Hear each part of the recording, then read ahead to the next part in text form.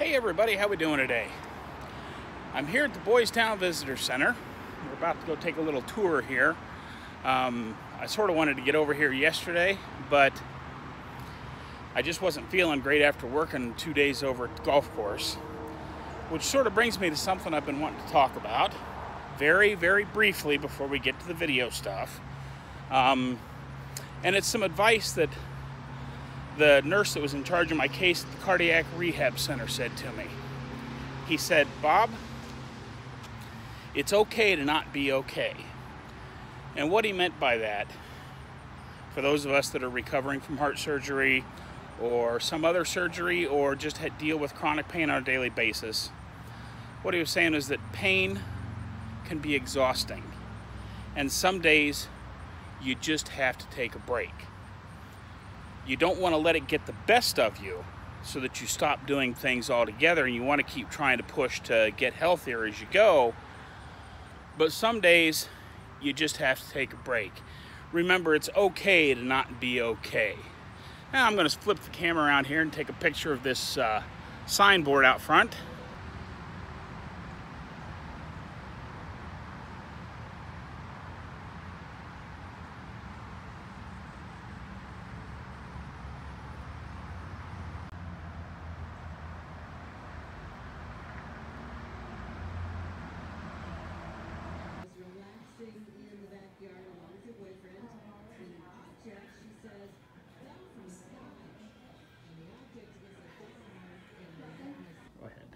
So this is the world's largest ball of stamps. It was created in the early 1950s. Father Flanagan, who started Boys Town, himself was a stamp collector. He always wanted the boys to be active with a hobby or a sport, something to keep them busy and out of trouble. And so he gave them some of his own collection to get started with a stamp club, which they did. You can see some pictures on the wall of them doing that. And this was just one of the silly hobbies that followed. One of the boys started with a golf ball and they kept adding stamps around it. And so now Ripley's Believe It or Not has featured it as the world's largest ball of stamps. It is 600 pounds. Their estimate is 4,655,000 stamps, give or take. We don't add to it anymore, we just leave it as is. And the back mural was made out of stamps by one of our alumni.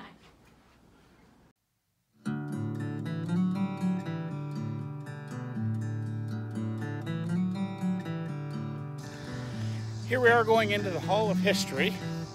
And then when we get done in here, we're going to walk across the street and take a look at the Garden of the Bible.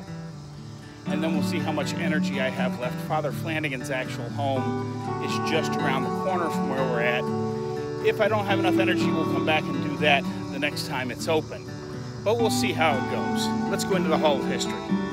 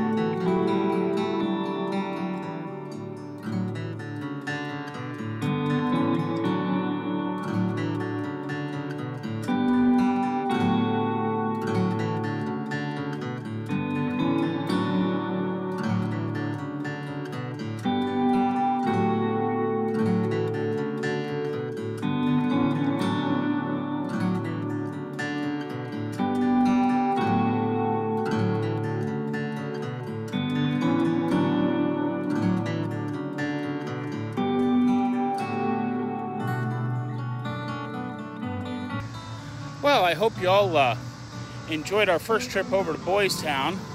As you can see, there's enough here to make at least another video, if not two or three more. Um, but that's all I've got time for for today.